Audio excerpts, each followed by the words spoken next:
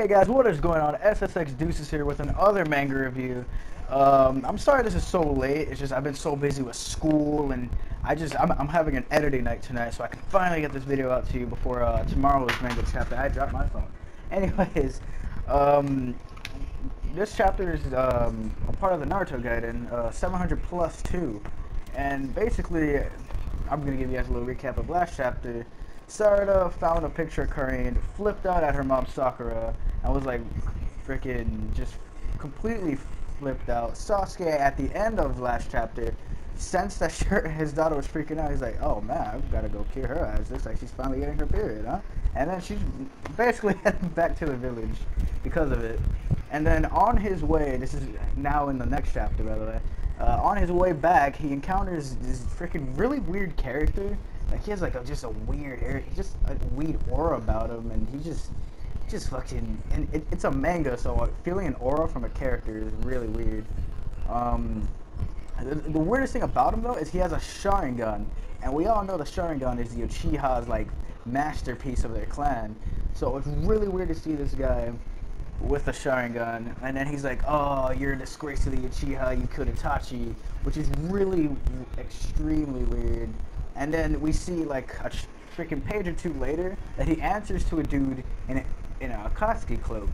So um, either Hidan got out of the Nara forest or there was a hidden Akatsuki we never knew about, which is just so dope. Um, then um, I think like a page later, freaking uh, Mitsuki, which is everyone's like that's Toneri's son. Uh, I think he's gonna pop up or he just pops up actually. What am I talking about?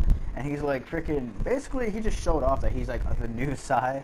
Like he's a little know-it-all, and then like freaking just not trustworthy at all. Like that's my feel for him. But it's gonna be really dope to see uh, his development because he most likely is because he looks just like Toneri or he's very similar. Most likely is an Otsutsuki or however it's pronounced. He's most likely his son and it's going to be really interesting to see like what he wants to do and what are his is his agenda. Because Sai had a hidden agenda as well, if you guys remember correctly. Um,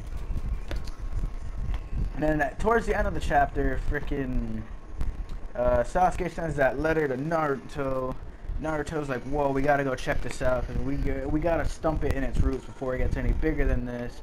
Sarada overhears. She's about to follow him out of the village to go finally meet her father anyways, if you guys enjoyed this manga review, um, I have lots of manga or anime gaming content coming out once J-Stars drops, and of course, uh, One Piece Pirate Warriors 3, I plan on getting that, Storm 4, so many different anime games, and many more manga reviews. I might start doing Bleach too, because Bleach is one of my favorite mangas at the moment. Anyways, if you enjoyed, please like, comment, and subscribe. This is this has been SXX Deuces. I fucked up the last line. I'm gonna kill myself after this video.